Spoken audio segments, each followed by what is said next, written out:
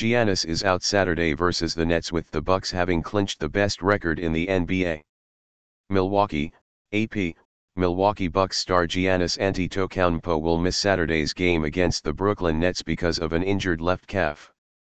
The Bucks have clinched the best record in the NBA and the top seeding in the Eastern Conference. Coach Mike Budenholzer says Antetokounmpo experienced soreness in his calf following a 128-122 victory over Philadelphia on Thursday night. The Nets are battling for one of the final playoff spots in the Eastern Conference. With three games remaining, they enter Saturday in the number 7 position. They are a half game ahead of 8th place Detroit and one game ahead of 9th place Miami.